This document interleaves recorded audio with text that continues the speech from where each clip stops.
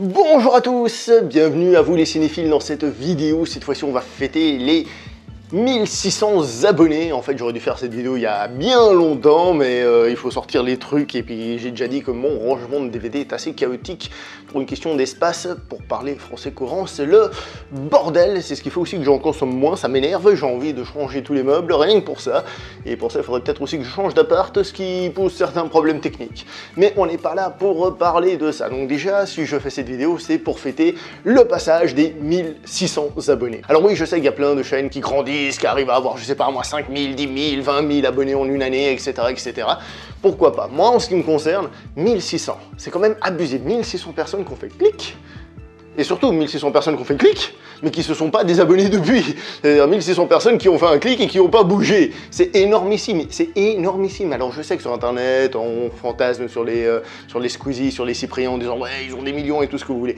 1600 personnes. C'est-à-dire, même si je fais pas 1600 vues par vidéo, quand tu fais 200 vues sur une vidéo, je sais pas moi, prenez un, truc, allez vous mettre dans un amphithéâtre ou un truc comme ça où il y a 200 personnes et commencez à parler devant ces personnes-là. C'est l'équivalent. Bref, tout ça pour dire que malgré tout, c'est énorme. Alors évidemment, je vais pas vous mentir, plus il y en a, mieux c'est, hein, on va pas s'en plaindre, hein, c'est ce qu'on désire tous, mais à l'heure actuelle, c'est quand même fantastique. Surtout, surtout, surtout qu'il y en a qui sont là depuis longtemps. Ça me fait plaisir de revoir des, commentaires de certains qui sont là. Euh, ça date. Hein. Par exemple, quand je regarde ma vidéo sur les 100 premiers abonnés et je vois certaines personnes qui avaient laissé des commentaires, je revois ces personnes qui sont encore en train de commenter et moi, j'ai envie de vous dire merci. Ça peut paraître con, mais il faut dire merci. Je sais que tout le monde le dit, mais il faut dire merci. Voilà.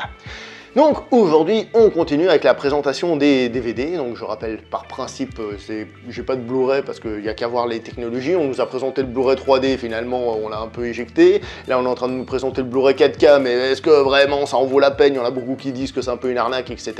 Bref, moi personnellement, j'en ai un peu marre d'être pris pour une vache à lait. C'est pour ça que je consomme mes films dans le format que j'ai. J'en ai déjà beaucoup et puis euh, ça me convient très bien. Le film est correct. J'en connais plein qui ont encore leur VHS et qui consomment leur VHS, c'est pas un souci. Euh, donc voilà.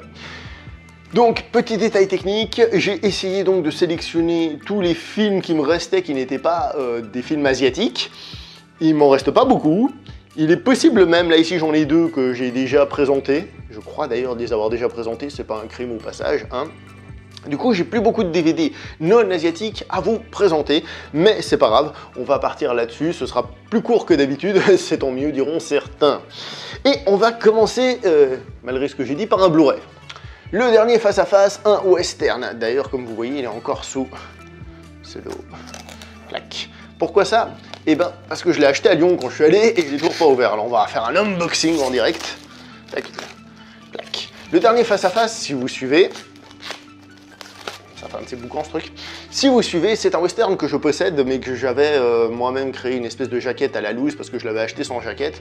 Et donc, du coup, quand je vois une édition collector comme ça qui me fait salut mon beau, et eh ben j'ai envie d'y aller. Parce que dans cette édition, on a donc la version Blu-ray, je suis en train de découvrir hein, le truc avec vous, la version DVD, et on a en plus tout un texte sur le film. Sergio Solima, Le Dernier Face à Face. Pour ceux qui ne savent pas, c'est un des plus grands westerns italiens tout court. Il y a qu'à voir euh, Maria Volonte ou encore Thomas Millian. Très honnêtement, c'est parmi les meilleurs westerns italiens qui existent.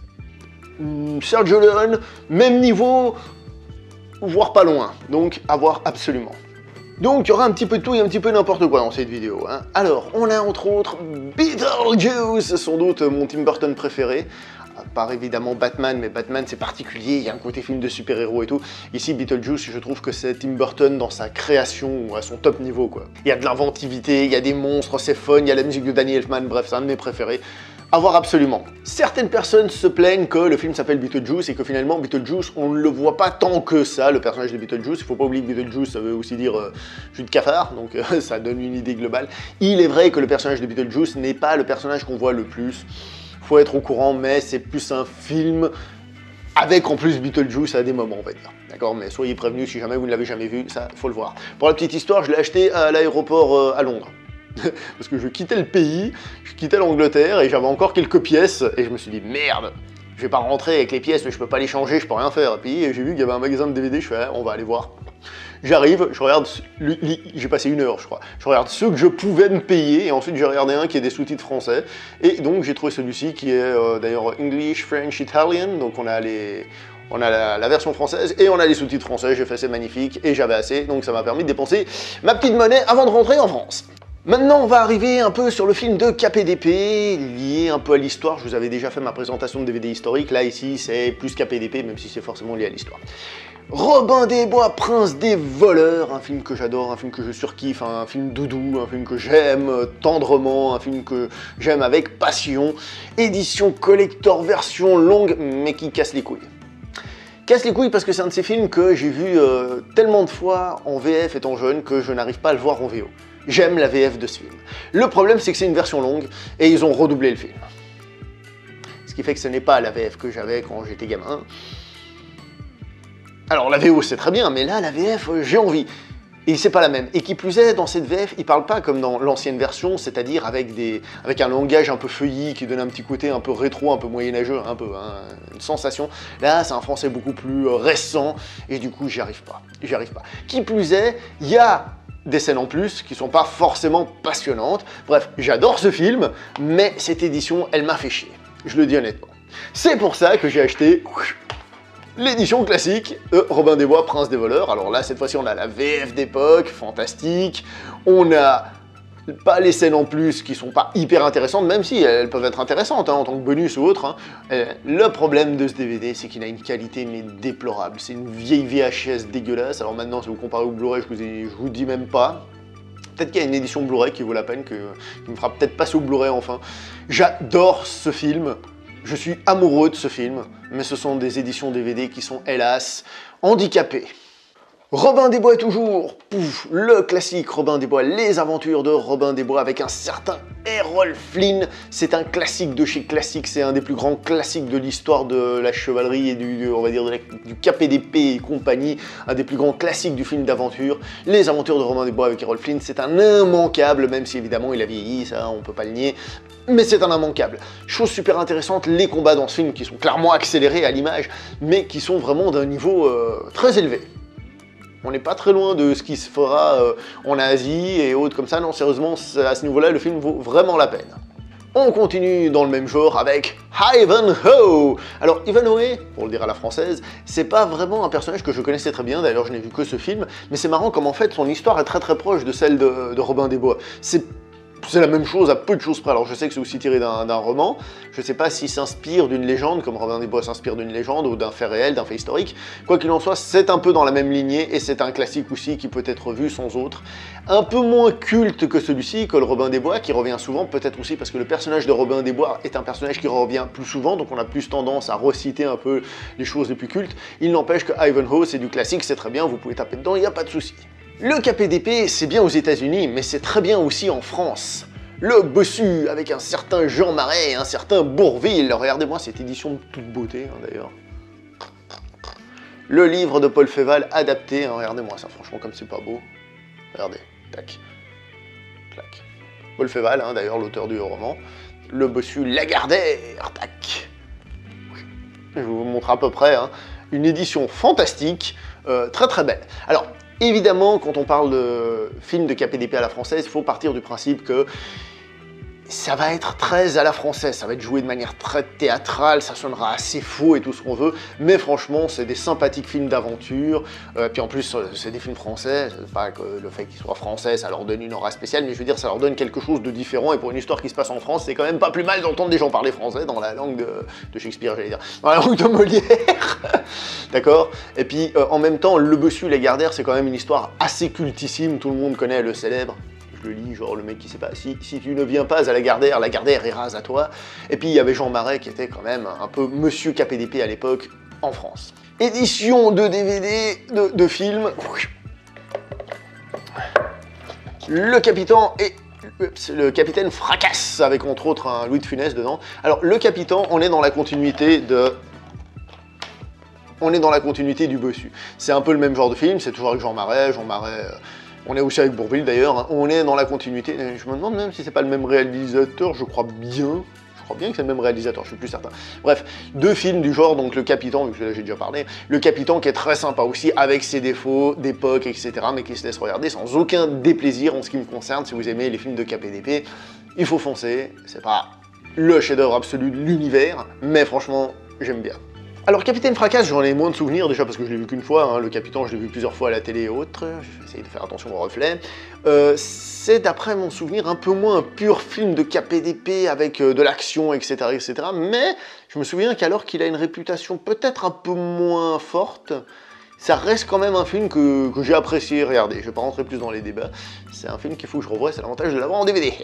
nous sommes passés par les États-Unis, nous sommes arrivés en France, on va retourner aux États-Unis d'une certaine manière mais avec un truc que moi je considère être un peu un film de KPDP, même si ça correspond pas totalement au film de KPDP, il y en a qui le considèrent un peu comme un western, c'est un personnage que j'aime beaucoup, un peu hispanisant, à savoir Zorro. Et là évidemment je vous parle du masque de Zorro, que tout le monde a vu avec Antonio Banderas, Anthony Hopkins ou la magnifique Catherine Zeta-Jones. Bref, un film que j'avais vu au cinéma étant gamin, que j'avais adoré au cinéma, c'est vrai que bon maintenant je vais pas adorer ce film comme euh, je l'avais vu étant gamin au cinéma, mais je trouve que ça reste un film franchement très sympa à regarder, les combats sont corrects, l'histoire est sympatoche, la musique est vraiment cool, la suite est vraiment à chier, j'ai essayé de la regarder, j'ai même pas pu le regarder en entier, mais voilà, ça reste Zoro, un personnage que j'aime beaucoup, euh, évidemment pour moi Zoro ce sera Zoro de Disney euh, Forever, il n'y a pas de discussion là-dessus, hein. mais je trouve que ça fait office de bonne suite, d'ailleurs il se veut être un peu une relève de Zoro pour justement ne pas empiéter sur la légende de Don Diego de la Vega, même si d'une certaine manière il, il empiète dessus, mais on rentrera là-dessus peut-être quand on parlera de ce film un jour peut-être. Et Zoro, vous le savez, est un personnage qui a été adapté dans maintes et maintes pays et maintes et maintes fois, entre autres en Italie avec un certain Alain Delon dans le rôle principal. C'est ma maman qui me l'avait conseillé, donc c'est réalisé par Duccio Tessari, entre autres le réalisateur d'un pistolet pour Ringo, le retour de Ringo. Euh, alors je vais être honnête avec vous, c'est pas mon Zoro préféré, hein. je préfère de loin euh, le masque de Zoro, hein, qui est à choisir, mais euh, il se laisse regarder, il est sympathique et surtout il propose une autre version, pardon, une autre version de Zoro, comme j'ai dit, la version Disney. Celui-ci, je trouve qu'il essaye, comme j'ai dit, de pas trop déranger. Celui-ci, c'est juste une autre version. Alors je trouve, d'après mes souvenirs, que les combats n'étaient pas forcément oufissimes, les échanges à l'épée, tac, tac, tac, tac, que j'aime bien des, des screamers. Je trouve aussi que euh, quand Zoro il arrive, il impressionne trop rapidement les gens alors que c'est un inconnu ou un truc comme ça. Bref, il y a des défauts dans ce film, c'est aussi un film que je peux revoir sans autre, mais euh, voilà quand même, pour beaucoup c'est l'une des meilleures versions de Zoro au cinéma, il faut quand même le savoir. Donc Zoro, Alain Delon, Alain de loin, il faut que je le vois à l'occasion, mais dans mes souvenirs il m'avait pas marqué, je l'ai vu deux fois depuis que je l'ai acheté, je me souviens. C'est dire qu'il m'a pas marqué les deux fois quand même. Alain Delon toujours et KPDP, on revient en France la tulipe noire. Alors bon, disons les choses comme elles sont, les éditions René Château, c'est pas les éditions de fou. Hein. À l'époque, on disait beaucoup que c'était des éditions euh, type VHS transposées. Celle-ci, elle est quand même jolie, cette édition, hein, faut dire ce qui est. Hein. Rien de spécial, mais le petit, euh, le petit truc en plus, ça donne un petit côté quelque chose. La Tulipe Noire est un film que j'adore. Alors justement, dans les combats, c'est peut-être moins des échanges classiques, vous savez, qu'on voit dans les films. Par exemple, je reprends le Zorro de Disney que tout le monde a vu, je pense, tac, tac, tac, tac. C'est un petit peu plus, euh, des chorégraphies un peu plus longues, un peu plus, enfin plus longues, avec des plus grands mouvements, des esquives, c'est un peu moins des échanges d'épées en tant que tel. Ce film, ce que j'aime beaucoup, c'est qu'en fait, euh, il est très drôle. Il est très drôle, et le pire, c'est que je ne m'y attendais pas, parce que le résumé qui est écrit là derrière, il raconte n'importe quoi. Quand tu dis ce résumé, on te dit en gros qu'il y a deux frères qui vont faire équipe, parce qu'ils sont jumeaux, ils se ressemblent, il y en a un, il peut plus se montrer, et ils vont faire équipe. Et en fait, le film, il part totalement dans une autre direction, et j'ai adoré ce film, j'adore ce film. La musique est excellente. C'est une désacralisation, d'ailleurs, au passage des héros à la, à hein, des justiciers masqués. D'ailleurs, à notre époque, dans le monde des super-héros, euh, ça peut être pas mal, hein, même si les super-héros sont assez peu des super-héros qui servent le peuple, etc. Mais bon, bref. C'est drôle, ça désacralise, c'est bien fait, la musique est excellente, c'est un pur divertissement, j'adore ce film, La Tulipe Noire. On va quitter les films de KPDP, mais on va rester sur Alain Delon, un film de Melville, je sais pas si vous connaissez ce machin. Le Samouraï, Samouraï écrit au U, ça m'a j'ai beau pas aimer l'orthographe et pas faire attention, samouraï écrit au U, ça me fait toujours bizarre. Le samouraï, un polar, donc signé Jean-Pierre Melville, un polar méga classe. Et Alain Delon dans ce film, il c'est même pas qu'il déchire l'écran, il le, massacre, il pisse dessus, il fait tout ce que vous voulez. Il est fantastique Alain Delon là-dedans, il dégage un truc de fou. Je veux dire, si vraiment vous aimez pas Alain Delon, vous regardez ce film et vous allez dire eh, je l'aime pas, mais, mais quand même. Hein une ambiance, quelque chose de très très fort, un film qui a entre autres servi d'inspiration euh, à un film que vous savez que j'adore, The Killer, même si c'est pas la seule inspiration de The Killer, loin de là, mais euh, pour vous dire, et un polar à la française à l'époque où les gens faisaient des bons films, vous qui vous pliez toujours, quand je dis vous, c'est pas à toi là forcément, mais la plupart des gens qui se plaignent que le cinéma français ça vaut plus rien, et eh bah ben, de temps en temps il faut se regarder des classiques et se rappeler que ça pouvait être très bon à la fois. Ça pouvait être très bon à la fois, je suis pas sûr que ça veut dire grand chose, bon bref que ça pouvait être très bon, des fois. en tout cas à une époque c'était très bon. On peut dire de ce film qu'il est lent et qu'il peut être chiant, c'est peut-être pas tout public, je suis assez d'accord, c'est la critique que faisait un de mes, un de mes amis, mais personnellement celui-ci je le trouve vachement bien, à contrario de celui-ci. Le Cercle Rouge, toujours de Jean-Pierre Melville, qui, cette fois-ci, est, à mes yeux, long et chiant. Alors, je sais que c'est un classique, je sais que certains vont trouver qu'il est extraordinaire, etc. etc. J'ai personnellement beaucoup de peine avec ce film. Pourquoi? Parce qu'on a des acteurs comme, regardez, on a Alain Delon. Je vous ai dit tout à l'heure, méga classe absolue de l'univers quand il veut. Mais là, le film est tellement sobre, et eh ben qu'en fait, il dégage rien. Nous avons Maria Volonté, qui est pas mis sur euh, ici devant, parce que c'est pas un français, donc euh, c'est pas très vendeur. Et je sais pas si vous savez qui est Maria Volonté, c'est entre autres le dernier Face à Face, il a tourné chez Sergio Leone, il a fait le Chuncho. C'est un acteur qui a tellement la classe, et dans ce film, il est tellement sobre qu'il fait rien. Il a rien, il a rien, il dégage rien de, comme charisme. Alors c'est le but du film, d'être simple, de pas, de pas faire grand chose, mais personnellement je me suis emmerdé, même si je dis pas que c'est pas un grand film. Hein. Je dis que pour moi, euh, là on dépassait le stade du film cool que j'aime bien, avec une, atmosphère et tout, pour passer peut-être trop et euh, perso me faire chier. Ça reste quand même un tout grand classique, donc euh, en tant que, on va dire que cinéphile averti, je ne peux que vous dire, jetez-y un coup d'œil, parce que c'est pas moi qui vous dis qu'il est chiant, enfin si, moi je vous dis ça, mais la plupart des gens vous diront qu'il il est génial, donc j'ai dit un coup d'œil tout de même. Voilà, c'est ça la règle. Un polar un peu décalé, euh, fiction pulpeuse, de son titre quoi, Pulp Fiction, Tarantino. Je pense qu'il n'y a pas besoin que je vous explique ce qu'est ce film. C'est euh, pas le premier film de Tarantino, mais c'est le premier film à avoir définitivement imposé bah, justement ce qu'on appelle le polar pulp, inspiré évidemment des écrits pulp qu'on trouvait dans les magazines, mais bon, ça je pense que tout le monde l'a vu, puis si vous l'avez pas vu, vous pouvez aimer ou pas aimer, mais encore une fois, un peu comme euh, Le Cercle Rouge, même si ça n'a rien à voir comme film, c'est un film qu'on va tellement vous conseiller que c'est pas à moi de vous dire regardez ou regardez pas, Pulp Fiction, jetez-y un coup d'œil. Tant que nous sommes dans Tarantino, Kill Bill. Alors, peut-être si je vois pas, il faut que je fasse comme ça, voilà. Volume 1 et volume 2. Donc, la première et la seconde partie, en fait, c'est plus marquant quand je montre euh, cette partie-là, je crois. L'arrière du DVD est plus marquant que la partie avant. Bref, euh, Kill Bill qui font un film en deux parties. Le premier grand hommage de Tarantino au cinéma asiatique, film de kung-fu, Shambara et compagnie. Forcément, étant un fou furieux de ce genre de film, il fallait que je les voie, c'est évident, je les ai vus au cinéma, il fallait que je les possède. Et voilà, tout simplement. Encore une fois, je pense que tout le monde connaît, j'ai pas besoin de trop rentrer dans les détails. J'ai plus envie de rentrer dans les détails sur les films qui ont inspiré ce genre de film et que les gens n'ont pas forcément regardé. Hein. Film non asiatique à tendance asiatique, ladies and gentlemen. Est-ce que ça vous dit quelque chose?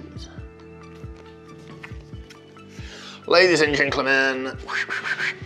Crying Freeman, réalisé par Christophe Gans, avec Marc Dacascos qui rentre parfaitement dans le personnage. Christophe Gans, on le sait, est un fada de cinéma. D'ailleurs, je ne l'ai pas arrangé simplement à côté de Tarantino, simplement parce que ce sont des films à tendance asiatique, qui ne sont pas asiatiques, mais à tendance asiatique, mais aussi parce que Christophe Gans a un petit côté Tarantino, dans le sens très cinéphile et qui rend hommage à plein de films. Et d'ailleurs, là-dedans, à des moments, vous reconnaîtrez du John Woo. À un moment donné, il le dit lui-même dans le, dans le commentaire audio. C'est rare que j'écoute les commentaires audio, mais là, c'est Christophe Gans. fallait que je l'écoute, puisque pour ceux qui pas, j'adore Christophe Gans quand il parle de cinéma, quand il décrit certaines scènes, quand il dit qu'il s'inspire de réalisateurs comme Hideo Gosha et des trucs comme ça, bah oui, tu le vois à l'écran, tu te dis oui, ça saute aux yeux, c'est évident. Hélas, je vais être honnête avec vous, je ne suis pas le plus grand fan de Christophe Gans en tant que réalisateur, encore une fois, ça m'a fait chier profondément parce que j'ai envie de les aimer, ces films, j'ai envie, j'adore le personnage quand il parle de cinéma, j'adore justement quand il rend hommage à des films que j'adore, à des réalisateurs comme Gosha, justement comme John et compagnie, j'adore, ça m'énerve. Il n'empêche que celui-ci, plein de gens vont vous dire qu'il est fantastique et qu'il faut jeter un coup d'œil pour la petite histoire. Vite présentation de l'édition collector, bah oui, tac, boum, puisqu'il y a ceci en plus, un petit livret avec des informations, comme je vous ai dit, Christophe Gans, il a fait un commentaire audio et Christophe Gans, quand il parle de cinéma, il faut, regarder. Hein. Si vous avez jamais vu Christophe Gans parler de cinéma, foncez les gens. Cherchez sur YouTube, tapez, euh, vous trouverez des vidéos, il parle de différents trucs. Ce mec, c'est mon idole l'heure de parler de cinéma, personnellement. Alors maintenant, on va passer du coq à l'âne avec euh, Shrek. Du coq à, à, à, l'âne. Enfin, vous aviez compris quoi. Shrek, qui est un film que j'adore énormément, faut savoir que pendant longtemps, les films d'animation, ça me cassait les bonbons, ça m'intéressait plus du tout, et ma sœur, qui est plus âgée que moi, m'a proposé d'aller voir ce film. et j'ai littéralement adoré. Alors certes, son humour très référentiel et tout ça un petit peu vieilli, maintenant c'est un film qui se fait un peu taper dessus, mais à l'époque il était tellement génial, j'avais tellement aimé que je l'ai acheté et ils en ont fait une suite, Shrek 2, une suite que beaucoup considèrent supérieure au premier, je dirais pas forcément jusque-là, mais qui ont moins du même niveau en étant différents. Bref, les deux premiers Shrek, c'était de la bombe intégrale en ce qui me concerne. Film d'animation à tendance asiatique un peu, puisque j'ai fait des films à tendance asiatique. Kung Fu Panda, premier du nom, que j'adore, parce que c'est une énorme référence à la Kung Fu comédie, et j'adore la Kung Fu comédie, alors c'est DreamWorks, comme Shrek hein, d'ailleurs. C'est peut-être pas Pixar, certains aiment moins, mais là, forcément, on rend hommage à un genre que j'aime et on le rend bien avec des bonnes chorégraphies, avec des très bonnes références cinématographiques. Non, sérieusement, c'est du très bon niveau en ce qui me concerne. J'aime beaucoup et en plus, le film m'avait bien fait rire. Les trois prochains DVD, je crois que je vous les ai déjà présentés, c'est pour ça qu'on va être rapide, de toute façon, ils sont pas extraordinaires. Le jour d'après, qu'on m'a refilé en mode tiens, vas-y, toi, on a plein, tiens, garde celui-là. Un film de Roland Emmerich, catastrophe, j'aime bien, même si euh, il a un peu mal vieilli avec les effets spéciaux. C'est le problème des films de Roland Emmerich, c'est qu'il y a des effets spéciaux partout et quand ça vieillit, bah, ça fonctionne plus aussi bien. Mais personnellement, je trouve ça divertissant. Voilà, je l'avoue. Kundun de Martin Scorsese, ou comment les gentils chinois qui sont pas très gentils ont pris gentiment le Tibet et ont obligé le Dalai, Lama, je vais y arriver, putain, je viens de manquer de respect, mon dieu comment le Dalai Lama a dû fuir, comment il a vécu sa jeunesse et tout ça, un film que j'aime beaucoup. Scorsese qui s'attaque à une autre religion et à une autre population avant de s'attaquer à la religion euh, catholico-chrétienne comme il l'a fait dans Silence, ça reste un très bon film. Réalisé par Paul Anderson, le célèbre grand réalisateur de, je sais pas moi, Resident Evil, Mortal Kombat, qui nous livre ici ce que tout le monde est d'accord pour dire son meilleur film ou un de ses meilleurs films. Beaucoup le considèrent comme un film d'horreur, pour moi c'est plus un film SF, fantastique, un peu comme Alien, certains peuvent le considérer comme un film d'horreur, ça me dérange pas, hein, c'est pas un souci. Un film très sympatoche avec entre autres Lawrence Fishburne ou Sam Neill. Franchement, il se laisse regarder, il est vraiment sympa, j'irai pas jusqu'à dire que c'est un chef-d'œuvre, mais il est franchement très sympa, je ne peux que vous le conseiller. Bon, bah, je vais m'arrêter là pour cette vidéo, comme j'ai dit, beaucoup moins que d'habitude, beaucoup plus courte, j'espère, mais pas trop courte quand même. Euh, normalement, j'ai présenté tous mes DVD non asiatiques, à partir de là, on part en Asie, comme vous avez vu, il y avait de la de l'animation, ce qui fait qu'on va arriver en Asie par l'animation. Je profite pour vous remercier encore une fois à tous les abonnés, à tous les suiveurs, à tous ceux qui like, à tous ceux qui laissent un commentaire, à tous ceux qui partagent les vidéos pour qu'on ait encore plus de vues. Je vous remercie énormément de participer à la chaîne, je vous remercie d'être présent. Et même si ça fait cucul la praline, euh, bah voilà, il faut le dire tout simplement parce que parce que c'est vrai. Bon bah je vais m'arrêter là du coup, donc euh, encore une fois, commentez, likez, partagez, euh, abonnez-vous, hein, comme d'habitude, sait-on jamais. Merci beaucoup, on se voit prochainement pour une prochaine étape d'abonnement, on va dire, hein, puisqu'on espère bien grandir. Merci à vous, wesh